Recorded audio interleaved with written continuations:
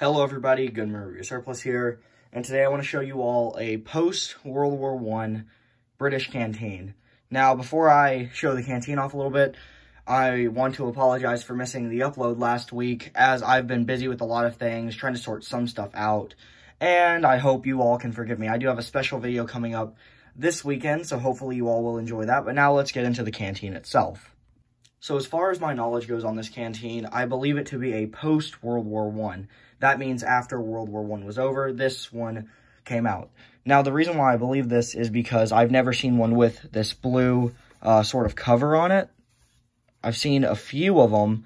Um, I saw one other one on a website, and it said it was a Canadian canteen from World War II, which makes me unsure. Most of the World War One British canteens are in more of a grayish green, or a, like, sort of a color like the World War One U.S. uniform or the World War One British uniform. Also, this little notch right here, where this would be tied onto with a string, is usually on, you know, the side, like right here or right here. Haven't looked at a World War One British canteen in a while, so I don't know the exact spot, uh, you know, placing of it, but I do know that that would normally be on the side for a World War One British canteen.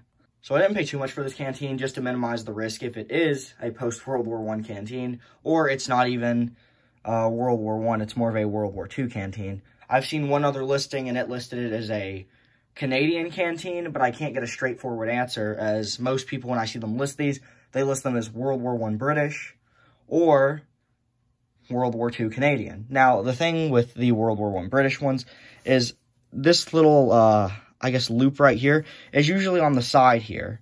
Now, what that's meant to do is for the cork, it would tie around that little loop, and that keeps, uh, and there's a string, basically, and it keeps it on there.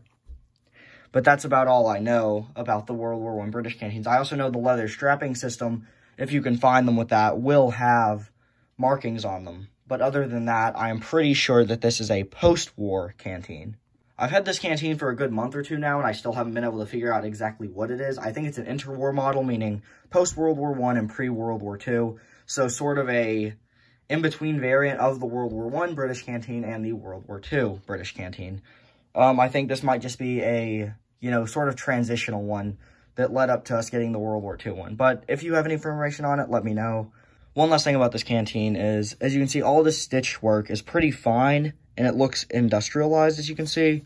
It looks very clean, but then when you get up to the top, it looks like as if, as if it's a very rough stitch, meaning very, uh, it was done very quick, as you can see, it's really rough around the edges. It also has uh, some stuff like that on it, but I, um, I'm still pretty sure this is a um, interwar canteen, not a World War One or World War Two. I believe that it's somewhere in the 20s through 30s era.